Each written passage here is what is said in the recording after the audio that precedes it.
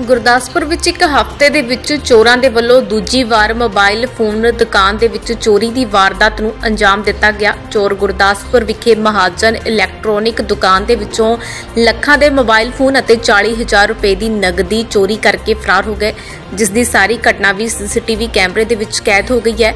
ਜਾਣਕਾਰੀ ਅਨੁਸਾਰ ਕੁਝ ਦਿਨ ਪਹਿਲਾਂ ਹੀ ਚੋਰਾਂ ਨੇ ਰੋਹਿਤ ਟੈਲੀਕਾਮ ਨਾਮਕ ਦੁਕਾਨ ਨੂੰ ਨਿਸ਼ਾਨਾ ਬਣਾਇਆ ਸੀ।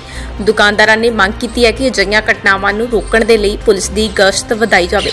ਗੁਰਦਾਸਪੁਰ ਤੋਂ ਲਵਪ੍ਰੀਤ ਖੁਸ਼ੀਪੁਰ ਦੀ ਰਿਪੋਰਟ। ਸਰ ਮੇਰਾ ਨਾਮ ਸੰਦੀਪ ਕੁਮਾਰ ਸਨ ਸ਼ਾਮ ਲਾਲ। ਮੇਰੇ ਮਾਈ ਇਲੈਕਟ੍ਰੋਨਿਕਸ ਦੇ ਨਾਂ ਦੇ ਉੱਪਰ ਮਤਲਬ ਸ਼ੋਪ ਹੈ। ਮੈਂ ਮਤਲਬ ਮੋਬਾਈਲ ਦਾ ਮੁ- ਕੰਮ ਕਰਦਾ। ਤੇ ਮੇਰੇ ਅੱਜ ਸਵੇਰੇ 5:30 ਵਜੇ ਨਾਲ ਮਤਲਬ ਮੈਂ ਹੁਣ 10:30 ਵਜੇ ਆਇਆ ਦੁਕਾਨ ਤੇ। ਤੇ ਆ ਕੇ ਦੇਖਿਆ ਤੇ ਮਤਲਬ ਤਾਲੇ ਖੋਲੇ ਅੰਦਰ ਸਮਾਨ ਸਾਰਾ ਗਾਇਬ ਹੋਇਆ ਦਾ ਕਿੱਦਾਂ ਚੋਰੀ ਕੀਤੀ ਗਈ ਹੈ? ਚੋਰੀ ਹੈ ਨਾਲ ਦੇ ਪਾਸੇ ਉਹ ਕੰਧ ਪਾੜ ਕੇ ਨਾ ਤੇ ਉਹਦੇ ਨਾਲ ਕੀਤੀ ਗਈ ਹੈ। ਕਿੰਨਾ ਕੁ ਹੈਗਾ ਪਾਰ ਕੰਧ ਵਿੱਚ? ਪਾੜ ਮਤਲਬ ਲਗਭਗ ਕੋਈ 2 ਫੁੱਟ ਦਾ ਉਹਨਾਂ ਨੇ ਮਤਲਬ ਵਿੱਚ ਪ- ਕੇ ਮਤਲਬ ਸਗੋਂ ਸਾਰੀ ਫਿਟਿੰਗ ਫੁਟਿੰਗ ਜੋ ਵੀ ਹੈ ਸਾਰੀ ਪੁੱਟ ਦਿੱਤੀ ਦੀ ਆ।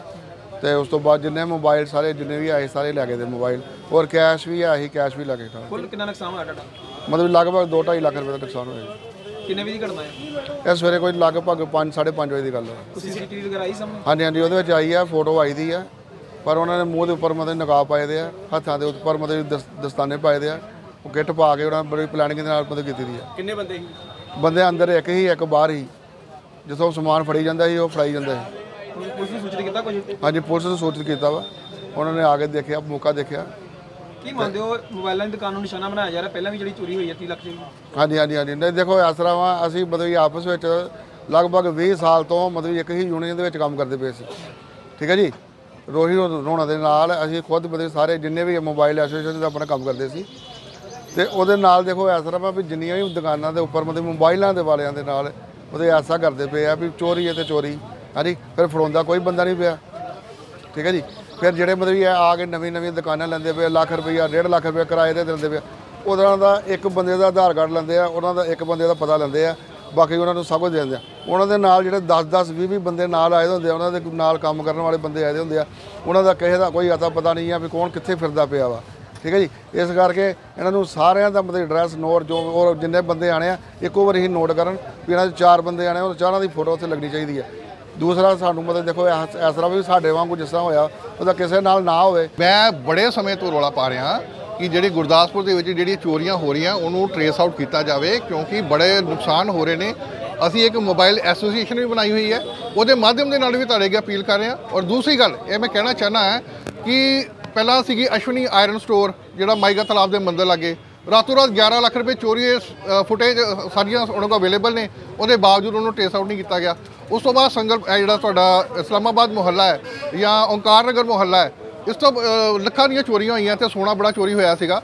ਉਸ ਤੋਂ ਬਾਅਦ ਸਾਡੇ ਰੋਹਿਤ ਜੀ, ਜਿਨ੍ਹਾਂ ਦੀ ਦੁਕਾਨ ਦੇ ਉੱਪਰ ਸਰੇਆਮ ਸਵੇਰੇ 5 ਵਜੇ ਜਿਹੜੀ ਆ ਉਹ ਦੇਖੋ, ਉਸ ਵੇਲੇ ਪੂਰਾ ਬਾਜ਼ਾਰ ਚੱਲਦਾ ਹੁੰਦਾ ਉਹਦੇ ਵਿੱਚ ਲੋਕ ਆਉਂਦੇ ਜਾਂਦੇ ਨੇ, ਦਿਨ ਚੜਿਆ ਹੋਇਆ ਸੀਗਾ। ਉੱਥੇ ਲਗਭਗ ਕਹਿ ਸਕਦੇ 35 ਤੋਂ 40 ਲੱਖ ਰੁਪਏ ਦਾ ਨੁਕਸਾਨ। 35 ਤੋਂ 40 ਲੱਖ ਰੁਪਏ ਦਾ ਨੁਕਸਾਨ ਉੱਥੇ ਹੋਇਆ। ਉਸ ਤੋਂ ਬਾਅਦ ਜਿਹੜੀ ਹੈ ਮੁਹੱਲਾ ਜਿਹੜਾ ਹੈਗਾ ਤੁਹਾਡਾ ਕੀ ਕਹਿੰਦੇ ਆ ਪ੍ਰੇਮ ਨਗਰ ਮੁਹੱਲਾ ਜਿਹੜਾ, ਉਹਦੇ ਵਿੱਚ ਕਿਸੇ ਦੇ ਘਰੋਂ ਟੈਪਸ ਤੱਕ ਟੈਪਸ ਤੱਕ ਉਹਨਾਂ ਨੇ ਉਤਾਰ ਕੇ ਲੈ ਗਏ। ਅੱਜ ਸਾਡੇ ਸੰਦੀਪ ਭਾਜੀ ਦੀ ਦੇ ਇੱਥੇ ਚੋਰੀ ਹੋਈ ਹੈ। ਉਹ ਮੈਂ ਕਹਿੰਦਾ ਕਿ ਬੜੀ ਮੈਂ ਕਹਿੰਦਾ ਇੱਕ ਸਾਡੇ ਲਈ ਸਾਡੇ ਸਮਾਜ ਲਈ ਸਾਡੇ ਪ੍ਰਸ਼ਾਸਨ ਲਈ ਸਾਰਿਆਂ ਲਈ ਬੜੀ ਸ਼ਰਮ ਦੀ ਗੱਲ ਹੈਗੀ ਹੈ। ਪਰ ਅਸੀਂ ਜਿਹੜੀ ਮੰਗ ਜਿਹੜੀ ਮੇਨ ਮੈਂ ਕਰਨਾ ਚਾਹਨਾ ਇਹਦਾ ਮੁੱਖ ਕਾਰਨ ਜਿਹੜਾ ਮੈਂ ਮੰਨਣਾ ਮੈਨੂੰ ਨਹੀਂ ਪਤਾ ਕਿ ਅੱਗੇ ਪ੍ਰਸ਼ਾਸਨ ਦੀ ਆਪਣੀ ਕੀ ਸੋਚ ਹੈ ਸਮਾਜ ਦੀ ਕੀ ਸੋਚ ਹੈ ਪਰ ਮੈਂ ਮੰਨਣਾ ਕਿ ਇਹ ਸਭ ਚੋਰੀਆਂ ਦਾ ਮੁੱਖ ਕਾਰਨ ਜਿਹੜਾ ਹੈਗਾ ਉਹ ਹੈਗੇ ਇਹ ਅਪਰਵਾਸੀ ਲੋਕ ਜਿਹੜੇ ਲੰਬੇ ਸਮੇਂ ਤੋਂ ਇੱਥੇ ਅੱਗੇ ਸਥਾਪਿਤ ਹੋ ਰਹੇ ਨੇ ਔਰ ਜਿਨ੍ਹਾਂ ਦੀ ਸ਼ਨਾਖਤ ਤੱਕ ਨਹੀਂ ਹੁੰਦੀ ਮੈਂ ਕਈ ਵਾਰੀ ਮੈਂ ਮਿੰਤੀ ਕਰ ਚੁੱਕਾ ਕਿ ਇਹਨਾਂ ਦੀ ਸ਼ਨਾਖਤ ਕੀਤੀ ਜਾਏ। ਇਹ ਕਿੱਥੋਂ ਆਉਂਦੇ ਨੇ? ਕੀ ਇਹ ਸੋਚ ਲੈ ਕੇ ਆਉਂਦੇ ਨੇ? ਔਰ ਇੰਨੀਆਂ ਇੰਨੀਆਂ ਮਹਿੰਗੀਆਂ ਦੁਕਾਨਾਂ, ਇੰਨੇ ਇੰਨੇ ਮਹਿੰਗੇ ਘਰ ਕਿਸ ਤਰ੍ਹਾਂ ਕਿਰਾਏ ਤੇ ਲੈ ਲੈਂਦੇ ਨੇ? ਦੇਖੋ, ਜੇ ਉਹ ਇੰਨੇ ਕਿਰਾਏ ਜੇ ਦਿੰਦੇ ਪਏ ਨੇ, ਸਾਡੇ ਕੁਝ ਲਾਲਚੀ ਲੋਕ ਜਿਹੜੇ ਨੇ, ਮੈਂ ਤਾਂ ਲਾਹਨਤ ਪਾਵਾਂਗਾ ਉਹਨਾਂ ਤੇ। ਜਿਹੜੇ ਲਾਲਚੀ ਲੋਕ ਨੇ ਕੁਝ ਕਿਰਾਏ ਦੇ ਲਾਲਚ ਦੇ ਵਿੱਚ, ਉਹ ਬਿਨਾਂ ਸ਼ਨਾਖਤੀ ਕੀਤੇ ਉਹਨਾਂ ਨੂੰ ਆਪਣੀਆਂ ਦੁਕਾਨਾਂ ਕਿਰਾਏ ਤੇ ਦੇ ਦਿੰਦੇ ਨੇ। ਮੈਂ ਉਹਨਾਂ ਨੂੰ ਬੇਨਤੀ ਵੀ ਕਰਨਾ ਚਾਹਾਂਗਾ, ਪ੍ਰਸ਼ਾਸਨ ਨੂੰ ਵੀ ਗਿਣਤੀ- ਮਿੰਤੀ ਕੀ ਕਹਿੰਦਾ, ਬੇਨਤੀ ਕਰਨਾ ਚਾਹਾਂਗਾ ਕਿ ਇਹਨਾਂ ਦੀ ਸ਼ਨਾਖਤ ਜ਼ਰੂਰ ਕਰੋ, ਕਿਉਂਕਿ ਇਹ ਕਿੱਥੋਂ ਆ ਰਹੇ ਨੇ? ਕਿੱਥੇ ਕੀ ਸੋਚ ਨਾਲ ਆ ਰਹੇ ਨੇ, ਇਹ ਪਤਾ ਲੱਗਣਾ ਬਹੁਤ ਜ਼ਰੂਰੀ ਹੈ। ਉਹਦਾ ਸਭ ਤੋਂ ਵੱਡਾ ਇੱਕ ਹੋਰ ਕਾਰਨ ਦੱਸਣਾ ਮੈਂ। ਸਾਡਾ ਗੁਰਦਾਸਪੁਰ ਜਿਹੜਾ ਬਾਰਡਰ ਬੈਟ ਹੈ, ਇਹਦੇ ਵਿੱਚ ਪਾਕਿਸਤਾਨ ਨਾਲ ਲੱਗਦਾ ਵੈ। ਕੁਝ ਵੀ ਹੋ ਸਕਦਾ, ਹਥਿਆਰਾਂ ਦੀ ਇੱਥੇ ਖੇਪ ਆਉਂਦੀ ਹੈ, ਨਸ਼ਾ ਇੱਥੋਂ ਆਉਂਦਾ। ਤੇ ਇਹ ਇਹਨਾਂ ਦੇ ਵਿੱਚ, ਇਹਨਾਂ ਦਾ ਬੜਾ ਵੱਡਾ ਰੋਲ ਹੋ ਸਕਦਾ ਅੱਜ ਗੁਰਦਾਸਪੁਰ ਦੇ ਵਿੱਚ ਇੰਨੀ ਵੱਡੀ ਤਾਦਾਦ ਦੇ ਵਿੱਚ ਜੋ ਕ੍ਰਾਈਮ ਹੋ ਰਿਹਾ ਉਹ ਉਹਦਾ ਮੁੱਖ ਕਾਰਨ ਮੈਂ ਇਹਨੂੰ ਹੀ ਮੰਨਣਾ ਇਸ ਲਈ ਇਸ ਪਾਸੇ ਜ਼ਰੂਰ ਸੋਚਣਾ ਜ਼ਰੂਰ। ਟਾਈਮ ਵੀ ਉਹੀ ਆ। ਆ ਬਿਲਕੁਲ ਟਾਈਮਿੰਗ ਉਹੀ ਹੈ ਸਵੇਰੇ 5 ਵਜੇ ਦੇ ਲਗਭਗ। ਇੱਕ ਪਾਸੇ ਪ੍ਰਸ਼ਾਸਨ ਕਹਿ ਰਿਹਾ ਵੀ ਚੋਣ ਜਾਬਤਾ ਲੱਗਾ ਸੁਰੱਖਿਆ ਦੇ ਕੜੇ ਇੰਤਜ਼ਾਮ ਕੀਤੇ ਗਏ ਨੇ ਸ਼ਹਿਰ ਅੰਦਰ।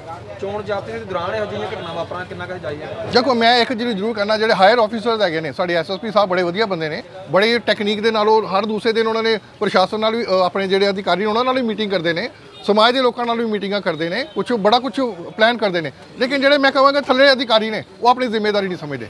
ਜੇ ਉਹ ਜ਼ਿੰਮੇਵਾਰੀ ਸਮਝਣਗੇ ਤਾਂ ਹੀ ਦੇਖੋ ਗਰਾਊਂਡ ਲੈਵਲ ਦੇ ਉੱਪਰ ਪ੍ਰੈਕਟੀਕਲੀ ਕੁਝ ਨਹੀਂ ਹੁੰਦਾ। ਦੇਖਿਆ ਜਾਏ, ਸਾਡੇ ਚੌਂਕ ਖਾਲੀ ਪਏ ਨੇ। ਜੇ ਡਿਊਟੀਆਂ ਲੱਗੀਆਂ ਹੁੰਦੀਆਂ ਐਸੀ ਗੱਲ ਨਹੀਂ ਡਿਊਟੀ ਨਹੀਂ ਲੱਗੀਆਂ ਹੁੰਦੀਆਂ। ਉੱਥੇ ਡਿਊਟੀਆਂ ਲੱਗੀਆਂ ਹੁੰਦੀਆਂ। ਪੀਸੀਆਰ ਵਾਲਿਆਂ ਡਿਊਟੀਆਂ ਲੱਗੀਆਂ ਹੁੰਦੀਆਂ। ਲੇਕਿਨ ਕੁਝ ਨਹੀਂ ਦਿਖਦਾ। ਸਵੇਰੇ 5 ਵਜੇ ਆ ਕੇ ਕੋਈ ਐਡੀ ਹਿੰਮਤ ਕਰ ਜਾਵੇ ਆ ਕੇ 5:30 ਵਜੇ ਇੱਥੇ ਚੋਰੀ ਹੈ 5:30 ਹੋਈ ਹੈ 5:30 ਵਜੇ ਚੋਰੀ ਹੋਈ ਆ ਕੇ ਕੀ ਉਸ ਵੇਲੇ ਕਿਹਨੂੰ ਡਰਨਾ ਹੋਏਗਾ? ਸਵੇਰੇ ਉਹ ਸਬਜ਼ੀ ਮੰਡੀ ਜਾਂਦੇ ਨੇ ਜਾਂ ਹੋਰ ਇੱਥੇ ਪਬਲਿਕ ਜਿਹੜੀ ਆਮ ਇਹ ਜੀਟੀ ਰੋਡ ਆ ਫਿਰ ਵੀ। ਇੱਥੇ ਤੇ ਵੈਸੇ ਬੜੀ ਮੰਡੀ ਤੇ ਸਵੇਰੇ ਸਵੇਰੇ ਇੱਥੇ ਸ਼ੁਰੂ ਹੋ ਜਾਂਦੇ ਨੇ ਲੋਕ ਆਣੇ ਤੇ ਸੋ ਇੱਥੇ ਵੀ ਜੇ ਕਰਕੇ ਜਾਂਦੇ ਇੱਥੇ ਬੇਖੌਫ ਹੋ ਕੇ ਕਰਦੇ ਪਏ ਨੇ। ਲੇਕਿਨ ਉਹਦਾ ਸਭ ਤੋਂ ਮੁੱਖ ਕਾਰਨ ਇਹੀ ਹੈ ਕਿ ਉਹਨਾਂ ਨੂੰ ਪਤਾ ਸੀ ਕ੍ਰਾਈਮ ਕਰਕੇ ਇੱਥੇ ਦੌੜ ਜਾਣਾ ਉਹਨਾਂ ਨੂੰ ਫੜਨਾ ਬਹੁਤ ਜ਼ਰੂਰੀ ਹੈ। An excellent coaching point in IELTS and spoken English. Also expert in study and visitor visa. Government approved. SS Group. Session Chowk, Hoshiarpur.